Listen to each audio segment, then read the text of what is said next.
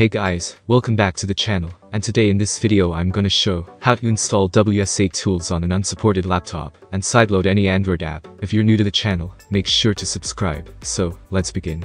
Currently, I'm using a 6th generation ASUS laptop, paired with 4GB of RAM, and the latest build of Windows 11, release build. Now, follow the process.